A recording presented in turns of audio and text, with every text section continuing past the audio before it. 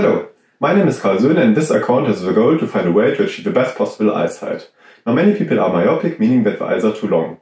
So we are gonna research if there's a way to shorten the eyes. Monday morning of the days documented, I went to the eye doctor to make a precise eye length measurement.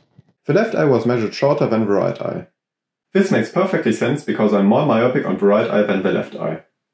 There's a lot of research about narrowband red light and myopia progression in humans. One study on tree shrews particularly caught my attention. Narrowband red light induced hyperopia, and one setup with alternating 2 second red light and 2 second white light was very effective. This could come in handy, I thought to myself, because color carries information and it would allow to normally use a computer.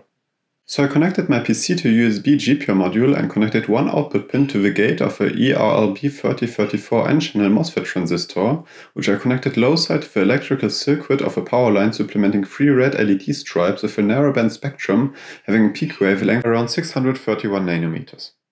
Then I coded a Python script which returned an alternance for 2 seconds three red LED stripes on and the TV red, and returned for another 2 seconds the TV normal and the LED stripes off. I turned the script on during the day while I was in my room, but of course I also did other things. Wednesday I showed someone around in Baden-Baden. I went to the eye doctor again on Thursday morning to get a new eye length measurement. Both eyes were measured 20 micrometers shorter.